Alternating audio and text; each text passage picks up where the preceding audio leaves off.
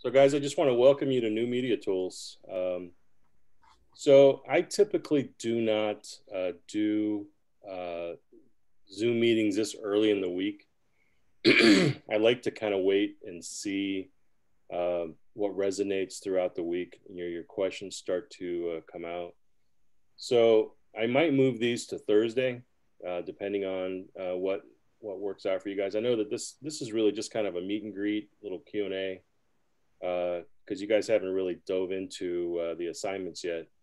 Uh, but just to kind of give you guys a synopsis of what the class is, uh, this class is a jack of all trades, master of none. Let's just say uh, we have we at Full Sail have embraced the Adobe Creative Suite uh, in every aspect, any degree that we have here online or on campus there is an opportunity for you to use a one, two, or three, or even all the softwares that uh, Adobe Suite has to offer.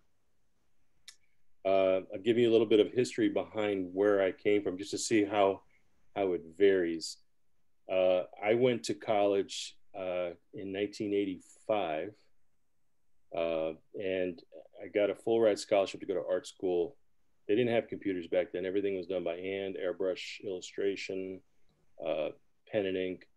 So a lot of, uh, you know, I wanted to work in an advertising environment where I could use my illustrations to create advertisements for whatever it was.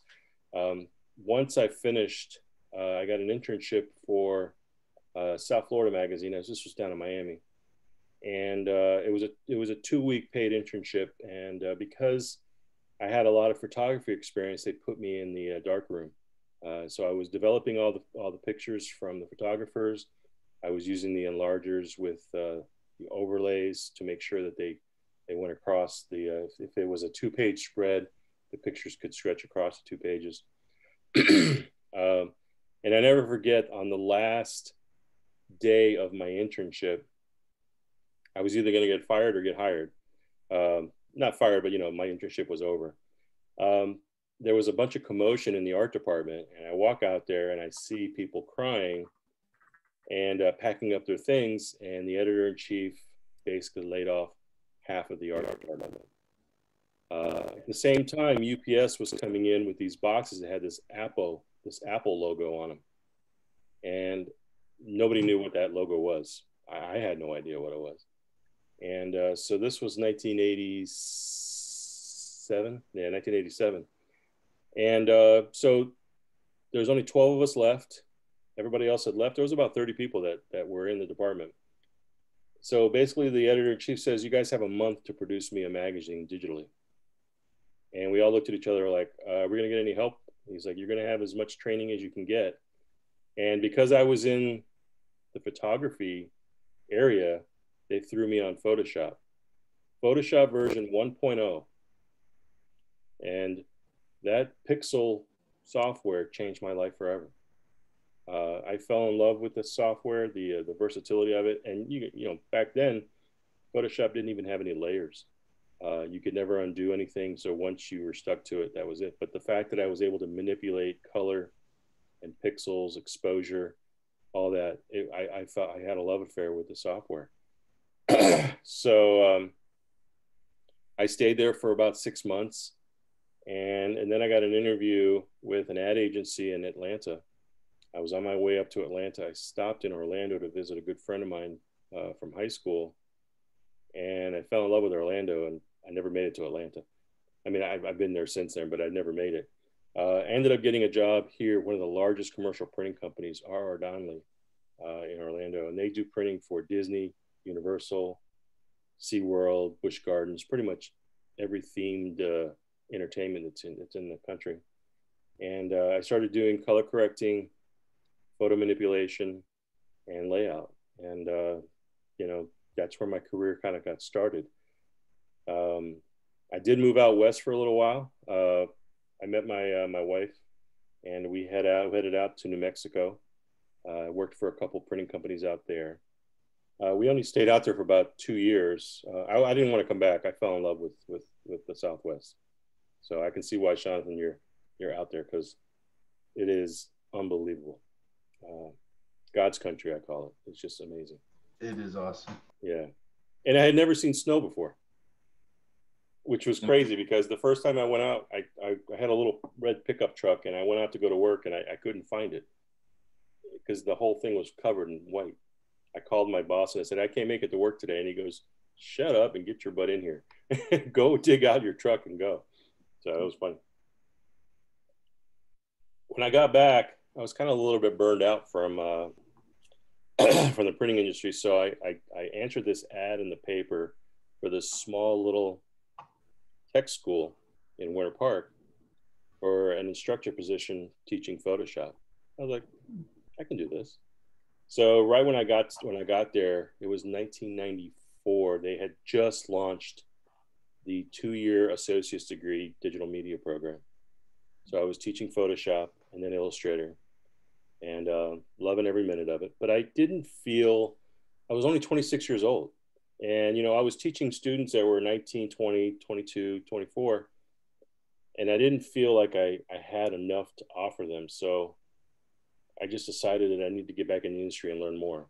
Uh, and uh, I landed my dream job for a theme park design company. And I, I was able to uh, jump right onto, they had just landed the contract for Islands of Adventure at Universal. We got all five islands with this company.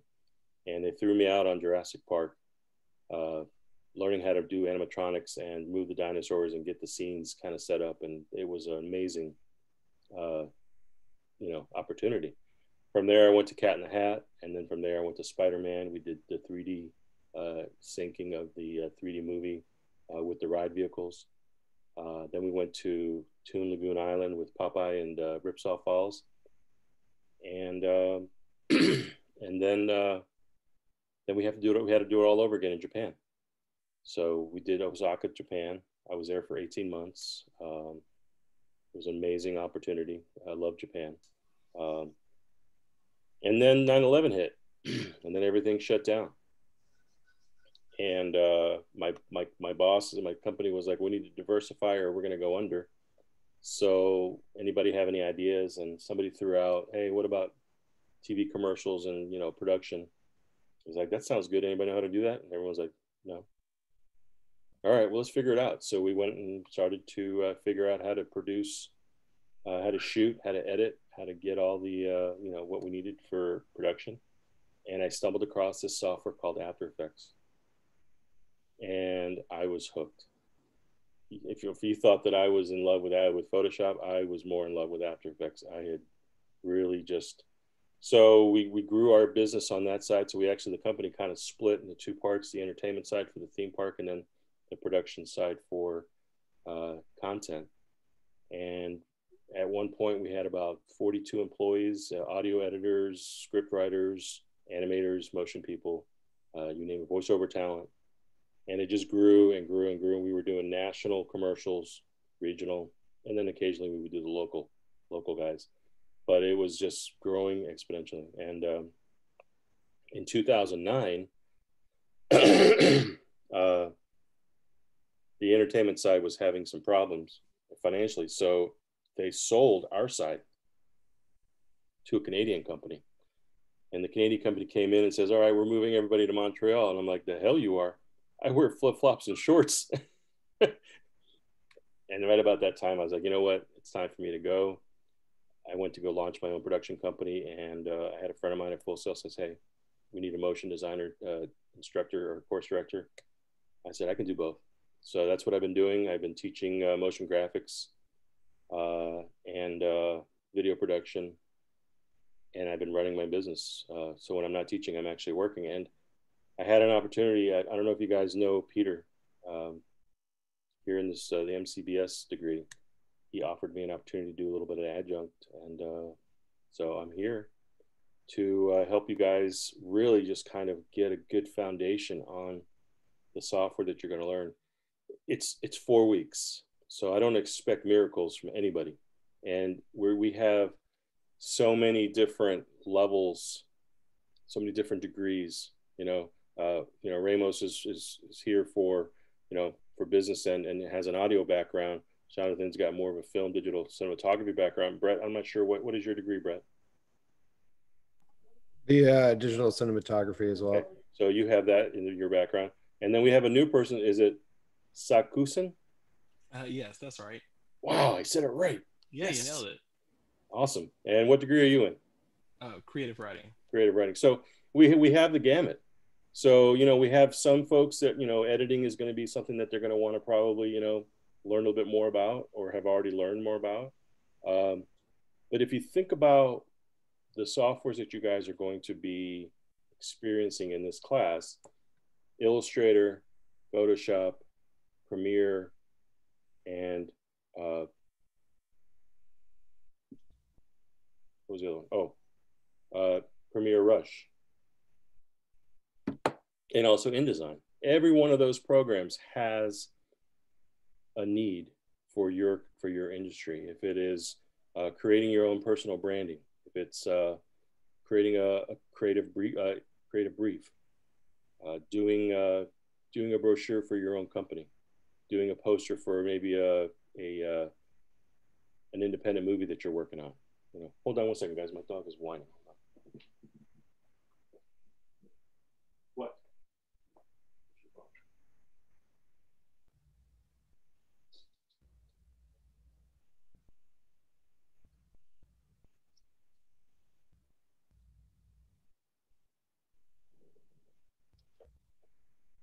want you guys to meet this ugly dog. Look at this thing.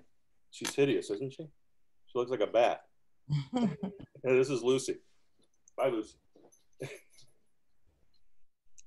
so anyway, so having even just a little bit of knowledge of the software, and and I'm very used to tier teaching because I get people from different levels coming into my motion classes.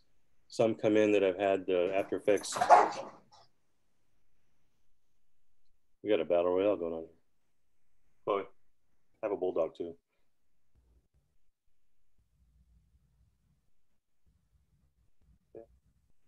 Okay.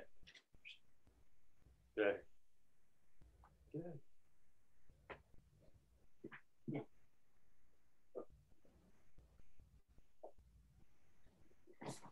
All right.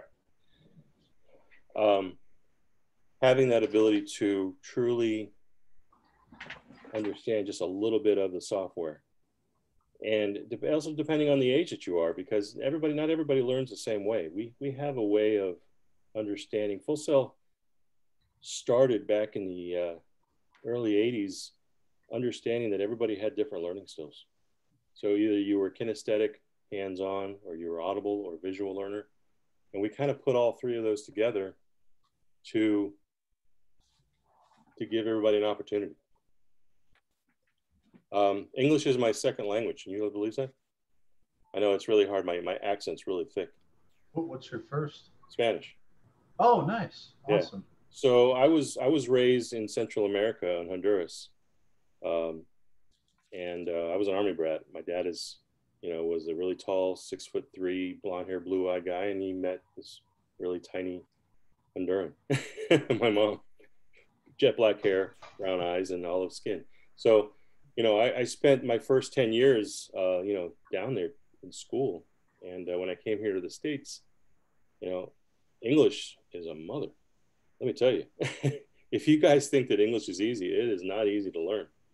Um, but, and, and that's, I think, why I gravitated towards drawing so much is because I had such a struggle with the English language that I could, I could visualize my, my emotions, my feelings through my artwork.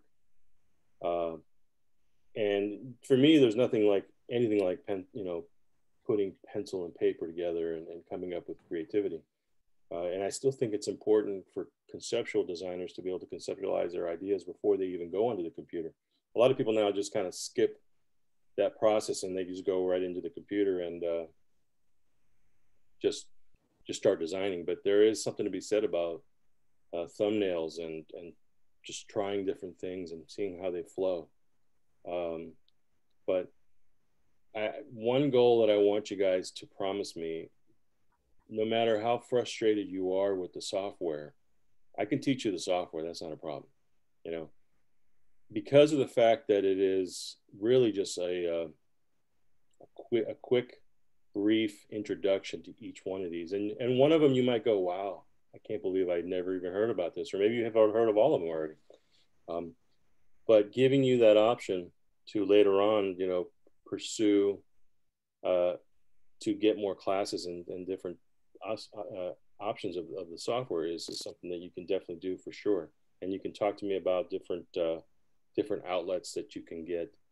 Uh, you guys definitely have access to uh, LinkedIn Learning uh, to get more in depth about the software.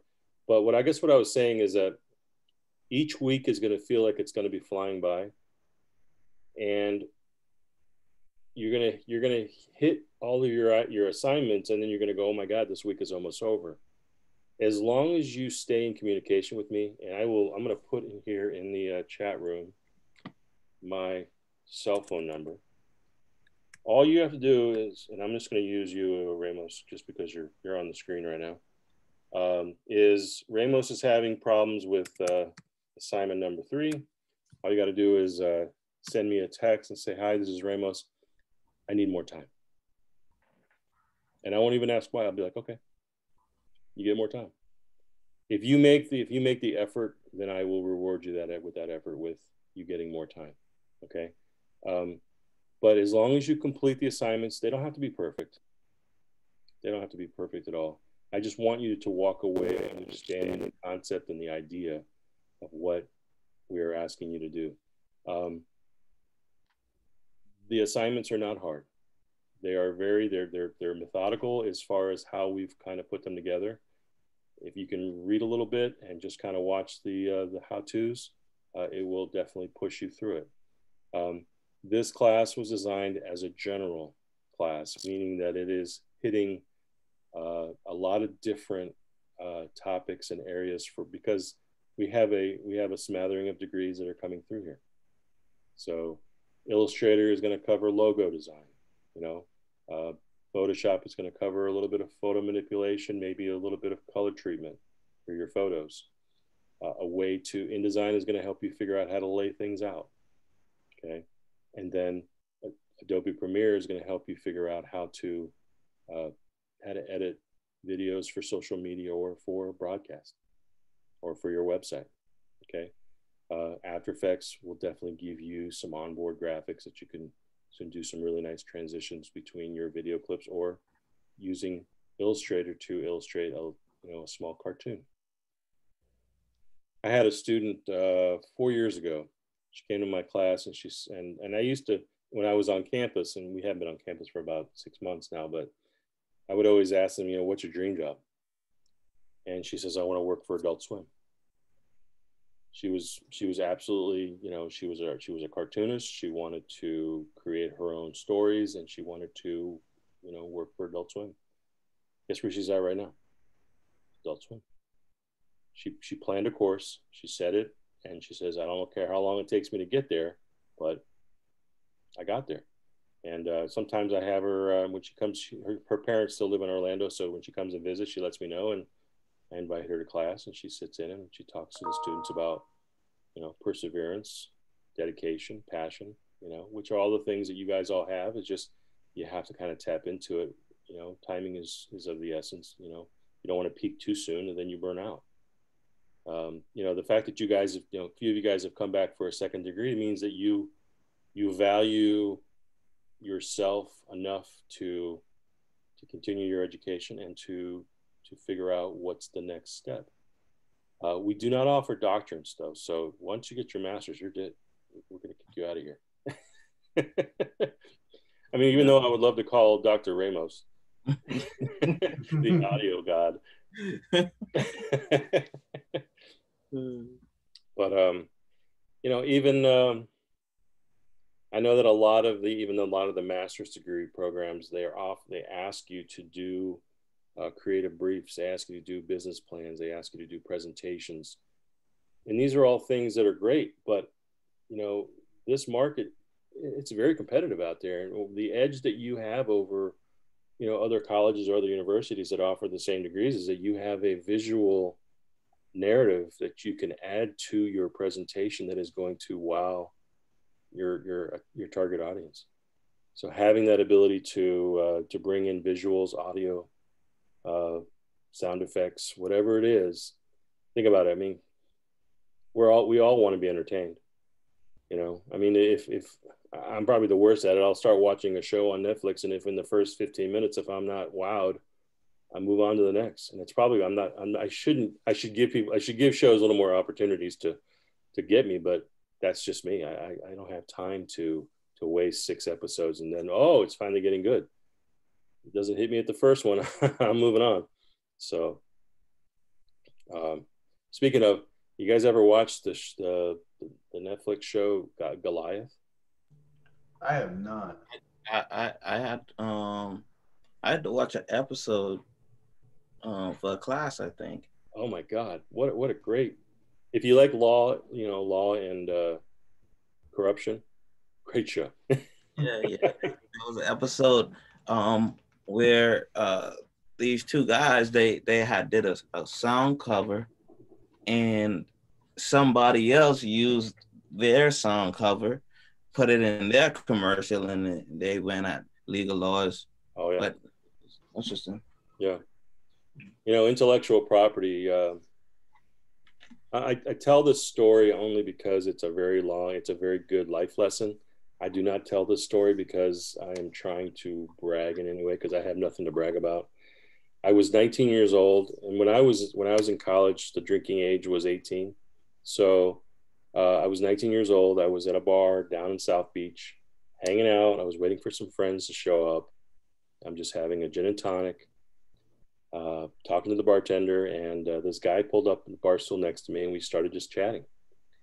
And when I I have this tendency that when I when I chat with people, I start to doodle on cocktail napkins. I don't know why, I just do and he he gave me this idea. He, he started talking about the fact that he was here from the west coast, northwest, and they were looking for uh, they were looking for ideas to expand their their fast food restaurants here uh, with a new concept in uh, in the East Coast. So he was kind of trying to get investors and capital uh, venture capitalists and stuff like that. And so I just I started doodling some ideas just in my head of, of, of different uh, different ideas of, of concepts for a fast food restaurant. It, it, I knew it was a burger place, so I just started going down that line.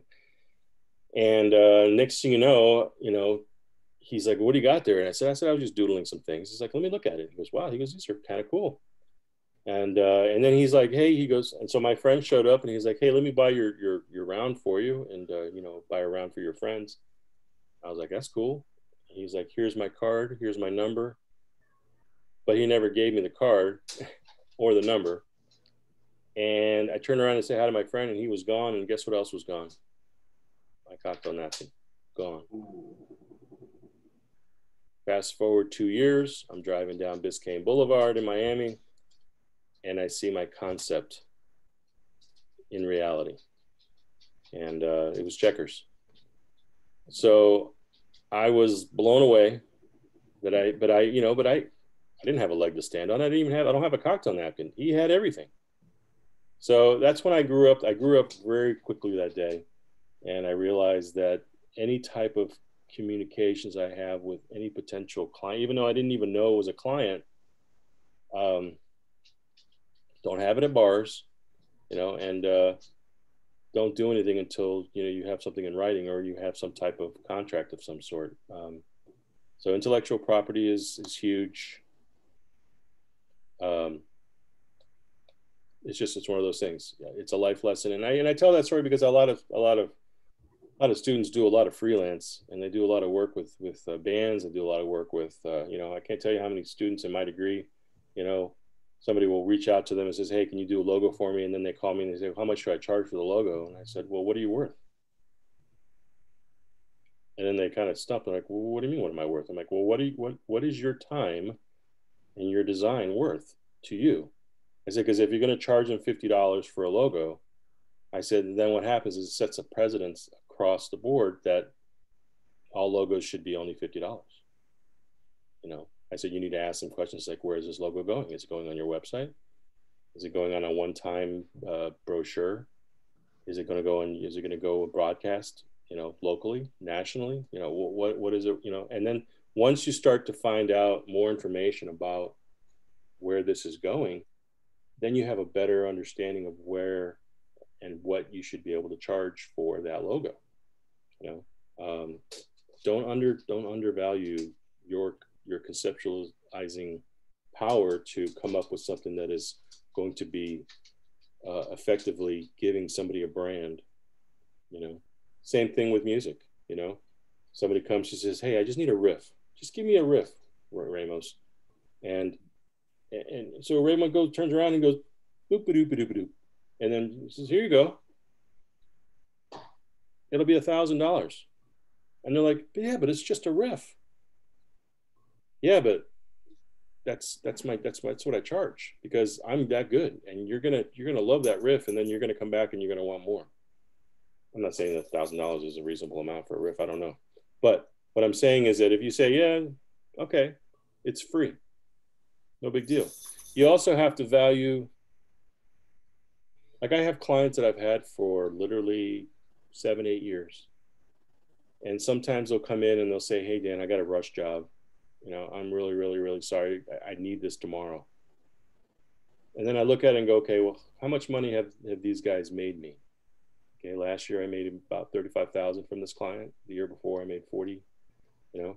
Uh, this year I'll probably make around, because of COVID, I'll probably make around 50,000 because I don't know, I've just been very fortunate.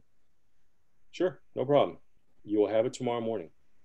And I will give it to them for free because they are a valued customer of mine and customer service is everything you know? You know you guys have heard of the, the whole thing is that the, you know, the client the client or the customer is always right to a certain extent. But if they value you and you value their um, partnership collaboration whatever it is then then it, it's all about communication. It's all about understanding you know what their needs are and what can you deliver I, I, I could kind of speak on that too. Um, because after I graduated in 2017, but I always had my nine to five, and you know, I thought that opening a studio is just you just buy a look, you know. I actually started with the Focusrite that Full Sail sent me. And like, yeah, it is a studio. But then after a while, I started asking and questioning myself, like why I'm not getting this industry sound. I went to this industry school, right? So I started doing research and I started investing in more better, you know, equipment. Yeah. However, I met I met one guy. He came to he he he was in front of me. He was, I mean, the guy can talk so good, and he calling people from Atlantic Records and this and that and yeah, I mean, I, I I'm seeing this is good. He tried to bring some contract for me to do some mixing stuff for him and this and that, whatever.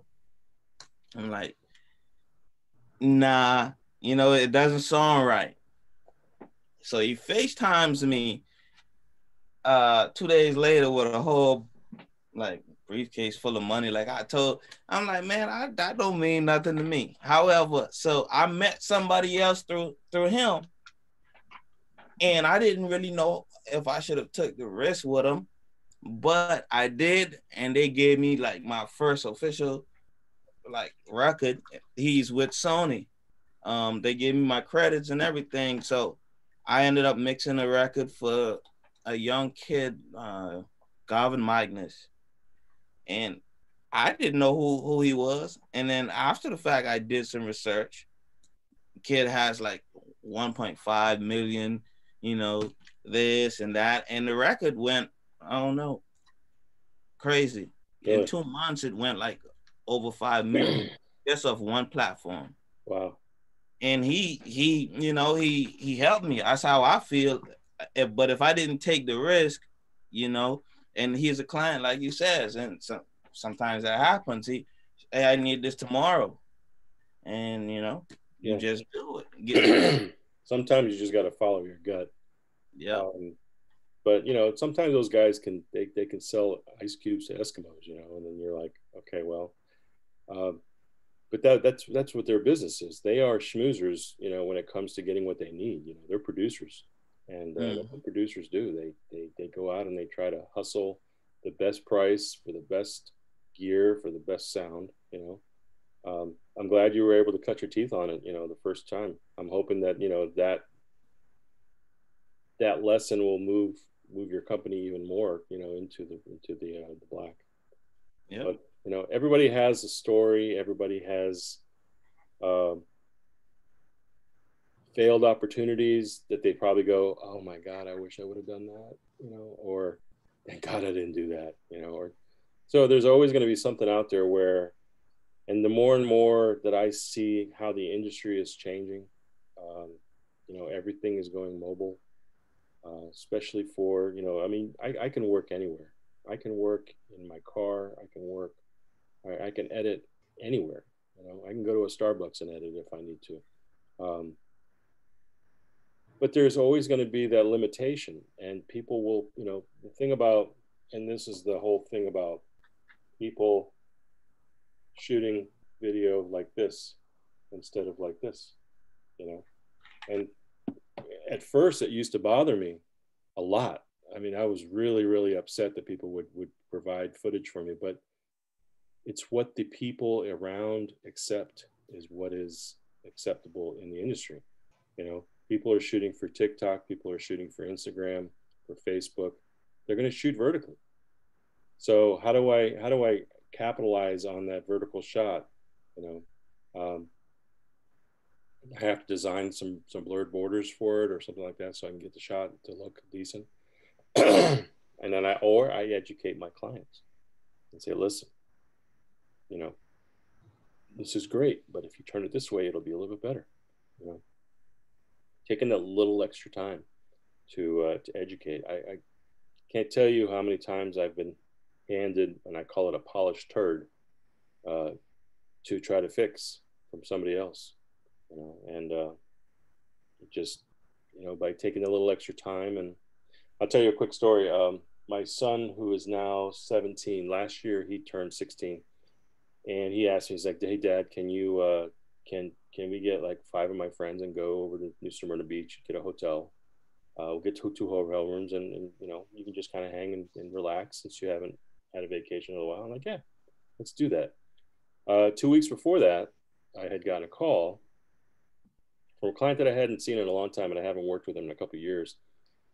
And he says, Hey, Dan, he goes, I got this really cool gig for you. Are you interested? And I said, Well, what is it? He goes, Well, it's, it's for head and shoulders. He goes, we're, we're shooting some motion commercials. Um, and uh, you know, I wanted he he does photo retouching. He doesn't do motion, so I was always his kind of a go-to guy for motion.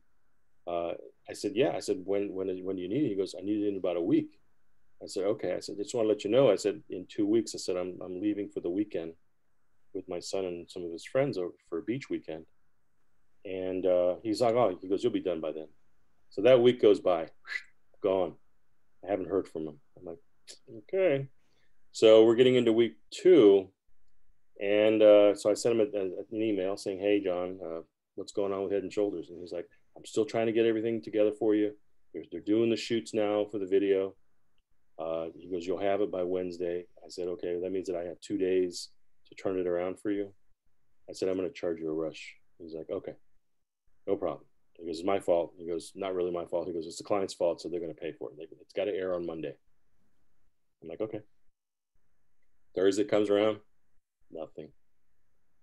So I'm packing up the truck Friday afternoon, and uh, John calls me.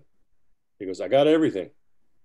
I said, I said, I have bags in hand and I'm leaving. He goes, no, man. He goes, he goes, you need to do this. I said, I told you. I said, I'm, I'm going away for the weekend for my son's birthday.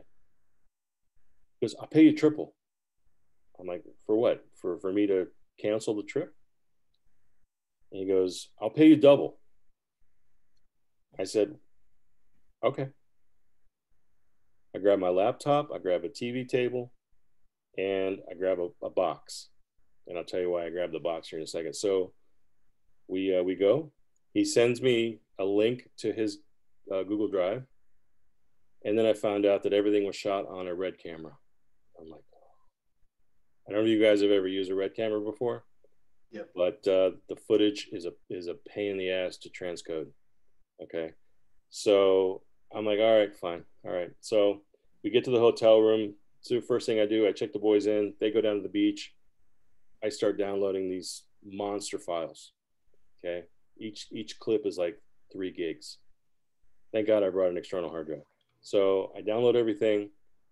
Uh, boys are checking in with me every so often. I got coolers full of drinks and food for them, so they're just having a great time. They're down by the pool. They're hanging out. You know, they're 16 years old. They're gonna do 16 year old stuff.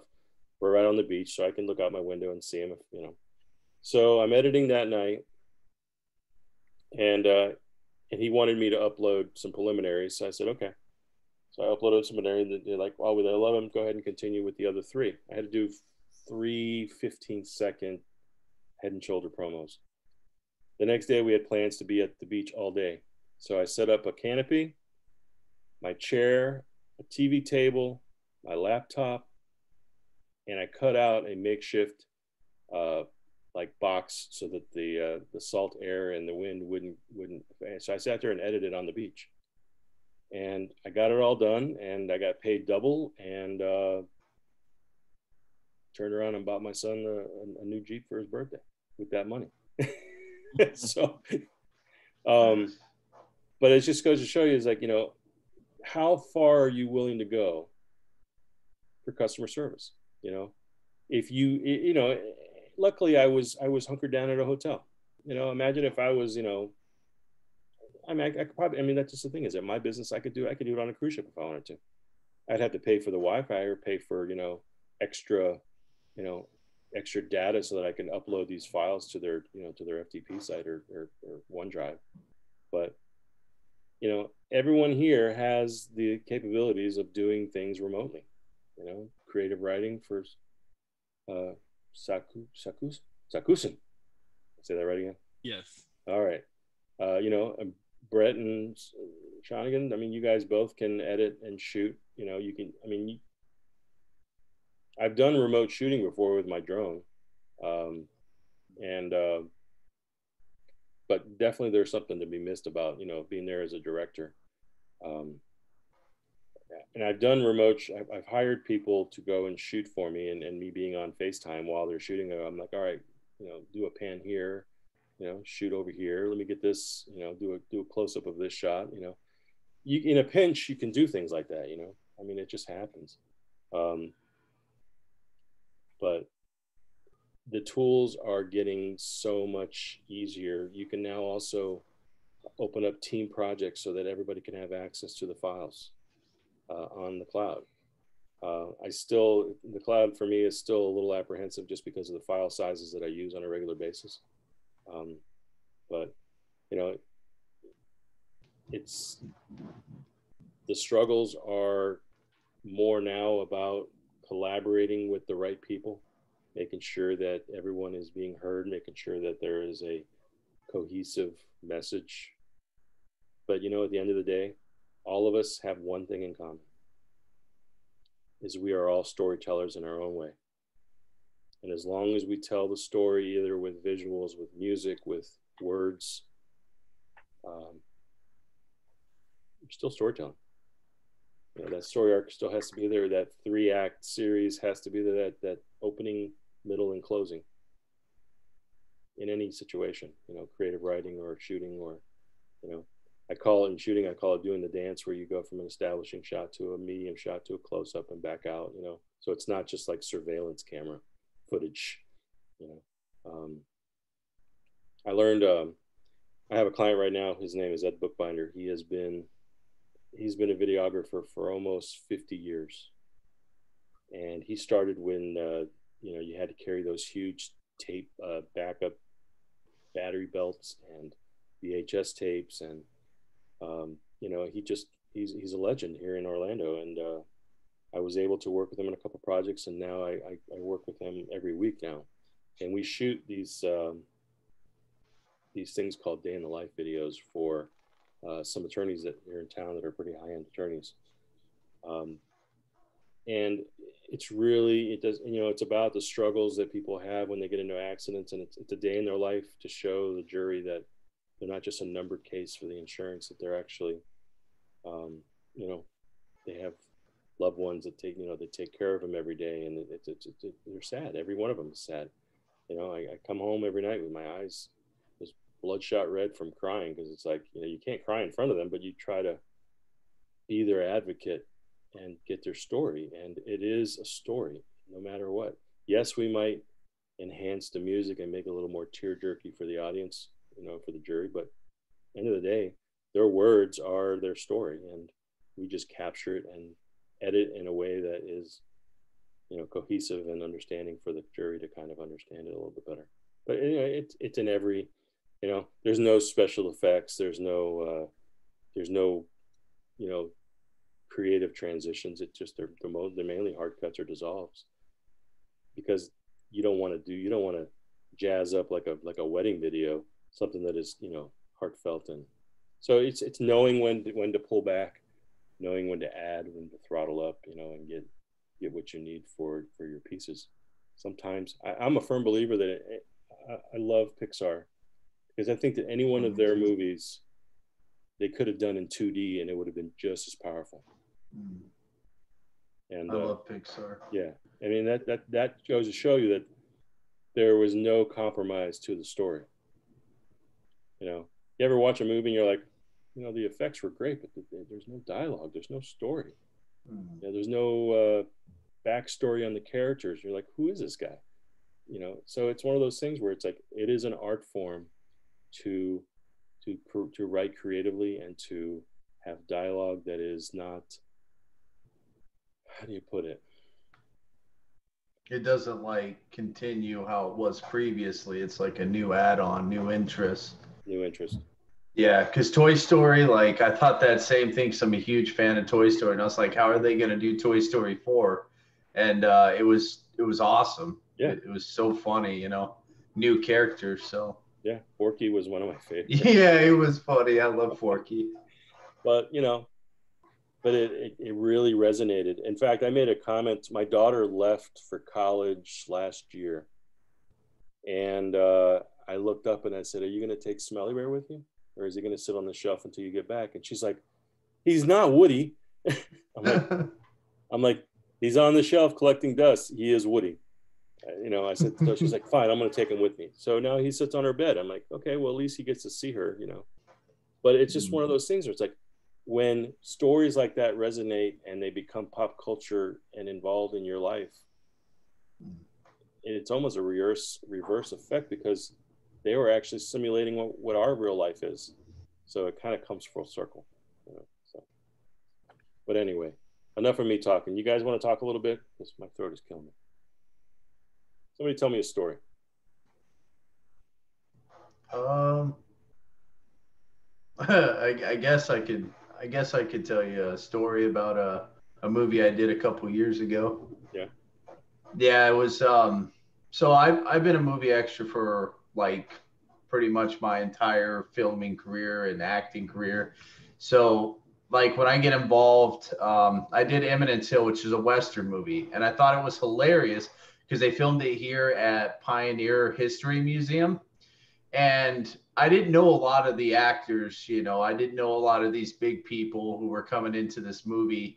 And uh, I was kind of nervous because I'm like, for one, I live in a cowboy, like Western state, Arizona, you know, freaking desert. And I don't know how to be a cowboy, you know, and, and they started getting me into like horse riding and shooting blanks out of pistols, like these old revolvers and stuff. yeah And um, I, I was so nervous because I was like, I'm working with Barry Corbin, Lance Henriksen, Dominique Swain, uh, like all these guys who've done like so many things. And um, and I, and I, and I thought it was funny because I, you know, I was told like, hey man, like what if these guys don't like me? You know, because like I don't have a reputation as big as them. And they're like, just go put on your personality, just go out there, have fun with it. And you know, and it, it was like my first time doing a Western movie, and they dressed me up like, um, you know, they're like, they gave me like a black hat and like this white T-shirt. And we are supposed to be representing like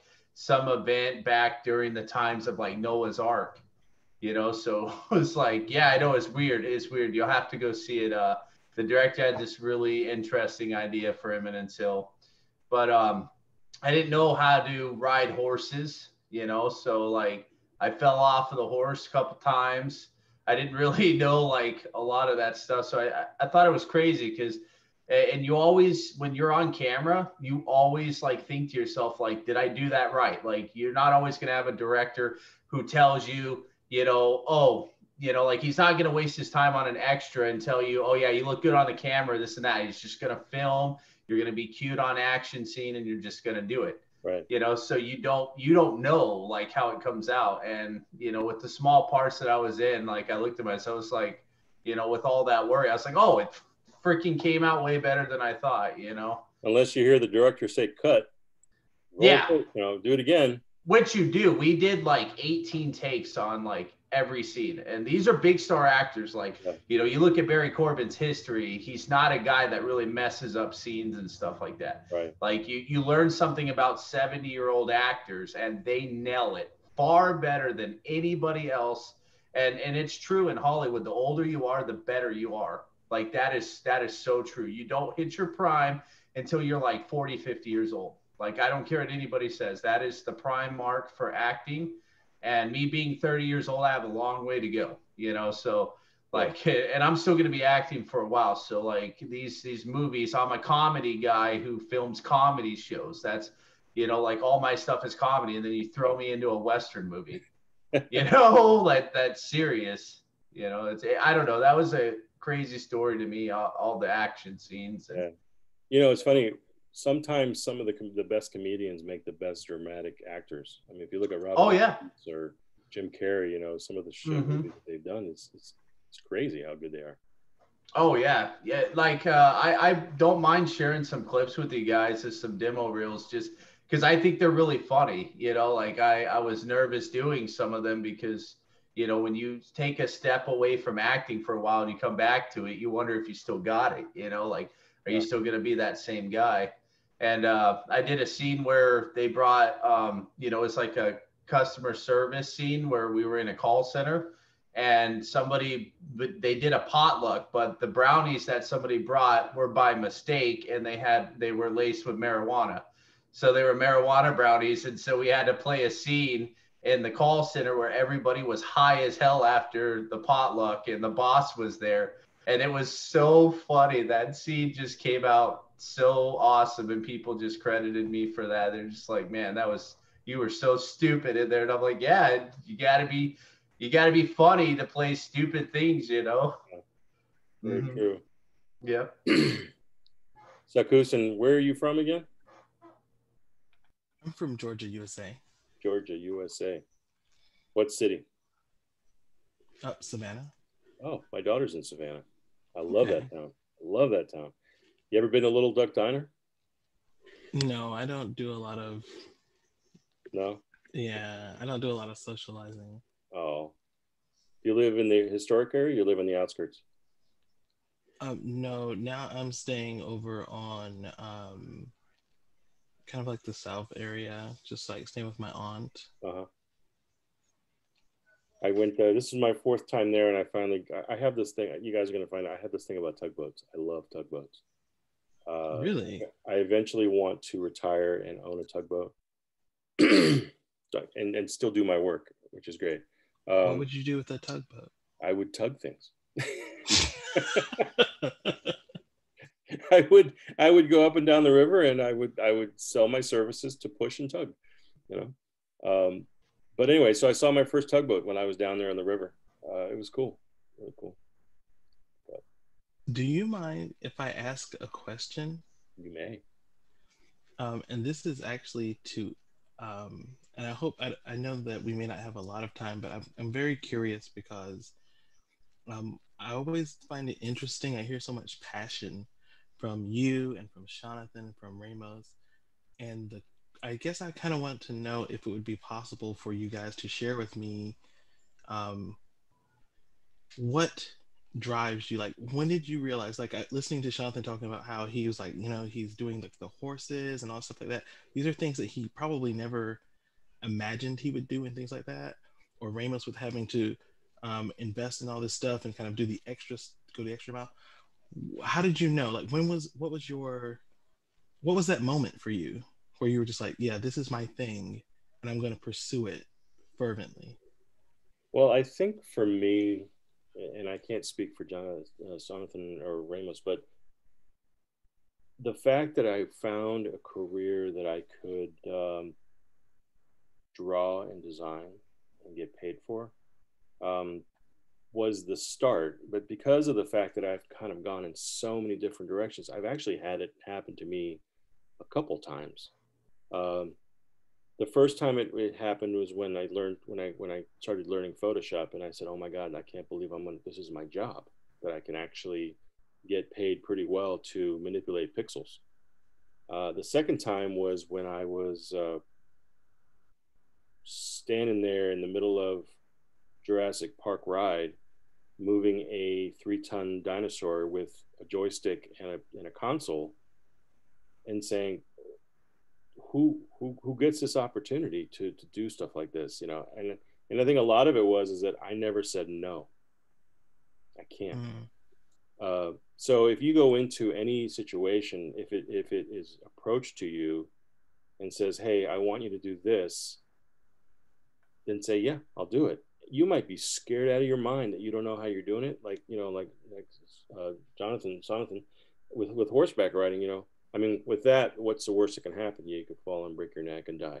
Okay, but uh, for me, it was it was more of okay. Well, what's the worst that can happen? I can try this.